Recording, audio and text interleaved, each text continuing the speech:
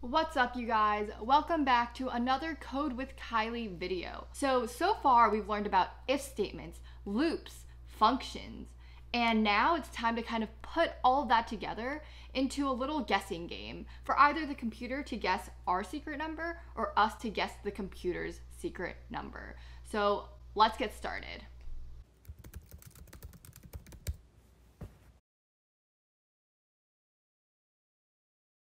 Alright, so in this video, first I'm going to teach you guys how to implement a guessing game where the computer has a secret number and we are trying to guess that secret number. So the first step is actually having the computer generate a secret number for us to guess. And in order to do that, we're going to import random. Whenever we call import random, it actually goes to this package that comes with Python and it says, hey, all of these functions that are here like make these accessible in our script so that we can call these functions.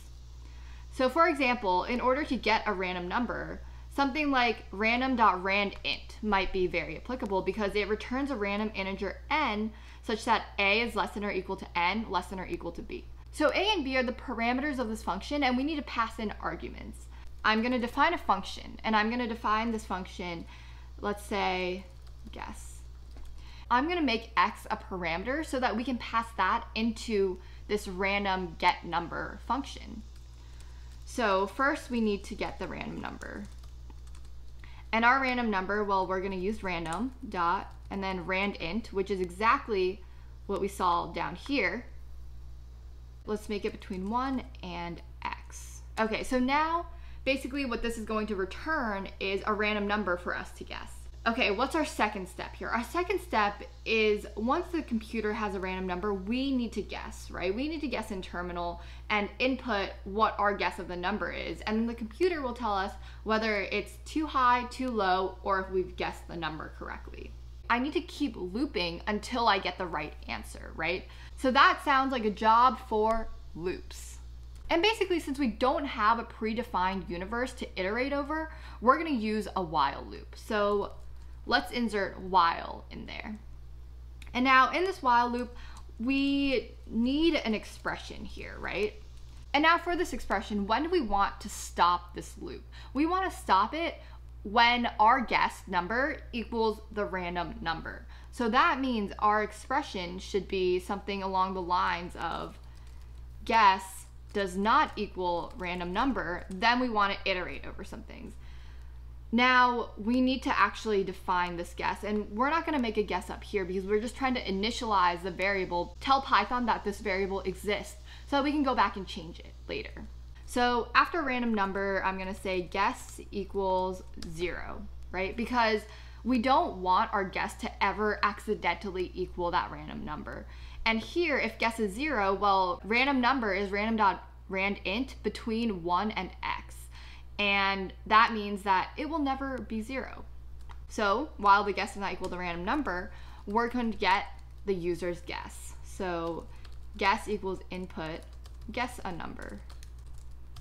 And we can even get a little fancier here between one and, so let's use an F string and we can do X. Let's just see what that looks like real fast.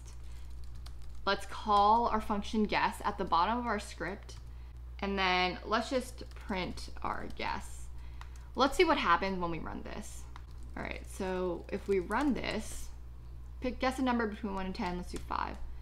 Okay, so we've printed the number, right? And I'm just gonna cast this as integer because I want my guesses to be integers. So what do we have so far? The computer has said, okay, I've gotten a random number and now we've set up this loop where I can keep guessing until I guess the right number. But that's no fun, right? We kind of want the computer to give us some feedback, give us some clues into what's right and what's wrong. So that means that I'm gonna use some if statements. And these if statements are gonna tell me, hey, you're kind of high, kind of low, or oh, maybe you've gotten it. All right, so let's add these if statements in. So if our guess is less than our random number, then we can print, sorry, guess again, too low. All right, but then else if our guess is greater than our random number, then we can print, sorry, guess again, too high. And then if it's not less than, if it's not greater than, that means it's just right. It's in that Goldilocks zone, right? And that means that you have guessed the jackpot. You have guessed that random number. And so what do we do then? Well, we actually don't have to do anything because remember this loop? While the guess does not equal the random number, it does all of this.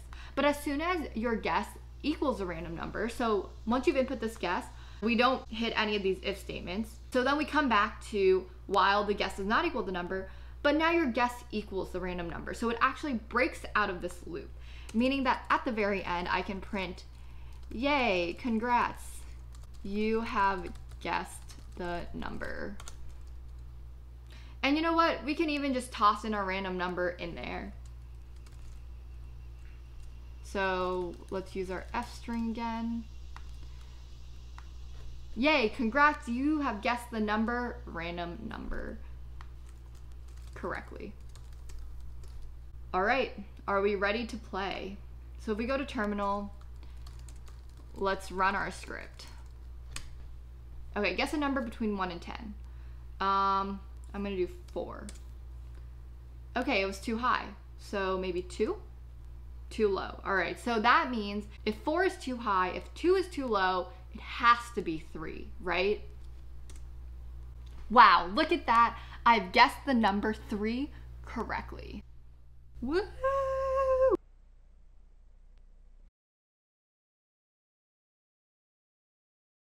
All right, so we talked about earlier how the computer is guessing our number, but we can also do the complete inverse of that function.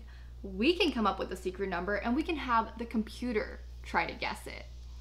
So now I'm gonna create a new function called computer guess of x. All right, and in this function, let's think about what we actually have to do. So I have a secret number and I'm not gonna tell the computer what the secret number is, right? That basically means the computer has a range of numbers to work with, a minimum and a maximum, a low and a high. Okay, so that means let's set the low and the high initially because we know what that is without even having to loop over anything. So I'm gonna say low, the lower bound is one and the high is x because we do have that entire range between one and x to work with initially until the user can provide some feedback we need to be able to tell the computer if it's too high, too low, or if they've guessed correctly. Which means that let's initialize a feedback variable. All right, feedback. And at first, there aren't any guesses, nothing's too high, nothing's too low. So just like how we initialize guess to be zero, let's initialize this to an empty string. And now, basically, we want to loop over this feedback expression. So while this feedback expression does not equal what we're going to make it represent when it's correct, let's do C because C for correct. So while this feedback does not equal C, well, the first thing I need the computer to do is to guess a new number. So I'm going to make the guess random. I'm going to use random.randint again. And this time we're going between low and high. Now we don't want it to always be, be between one and X, right? Because we wanna be able to kind of change these bounds according to the user's feedback. Because you know that if something is too high, then anything above that, we can kind of stop considering. And then if it's too low, anything below that, we can stop considering. So that's why I'm passing in these low and high values into this rand int so that we can guess a new number between the bounds that we know has to be correct. Okay, so we have a guess and now we're trying to ask the user for feedback. Hey, is our guess right or is it wrong? So here I'm gonna do feedback equals, and let's do a user input. Is, so I'm gonna use an F string again so I can put this variable inside my string. Is guess too high? And let's make that H, okay. Too low, and that's going to be L, or correct. And that, of course, is C. The user is going to input H, L, or C. I have these uppercase letters here, this lowercase up here. I'm just going to make this input lowercase. So adding that dot lower at the end is gonna take whatever this string is from the input and just lowercase it. So H, L, and C are all lowercase. If we try to compare a capitalized letter to its lowercase letter, it actually does not come out to be equal. So that's why I'm adding this lower in there. Let's look at our different cases again.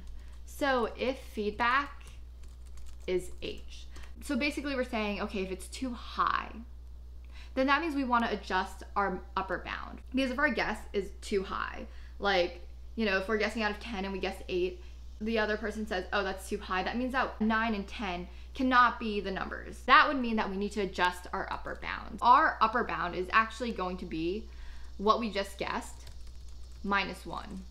Because, for example, if we guess 8, then we know it's between 1 and 7 if 8 is too high. And now, if the feedback is L, we know that our low bound has to be guess plus 1, right? Because it can't be that low number. And of course, we can make that an elif. elif makes it a little bit cleaner because feedback can only be H or it can be L. Like it can't be both of them. And of course, if it's correct, we don't have to have an if statement for that because our while loop kind of takes care of that. So at the very end, of course, when we exit our while loop, that means that the computer has guessed our number correctly. Print, yay, the computer guessed your number. Uh, let's put the number in there correctly. And so I'm gonna put guess in this f string because so that means that outside of this for loop, this variable guess is actually the last thing that the computer had guessed, which means that, you know, if it's correct, then that is our secret number. All right, so basically one other thing that I've noticed is random.randint will actually throw an error if low and high are the same number. So we can do a couple of things. We could theoretically put this statement up here that prevents this loop from continuing if low equals high because if low and high are the same number, that means that you've narrowed it down, right? If you're saying 8 is too low and your new low is 9, and then you're saying 10 is too high, so then your new high is 9, well, that means that the computer has actually narrowed down the number to 9. But if we break too early, so if we're saying and low does not equal high, then we don't actually iterate over this loop when our low is nine and our high is nine, right? We just break and we say, oh, the computer guessed your number correctly. But the thing is, we actually want the user to say that the computer has chosen it correctly.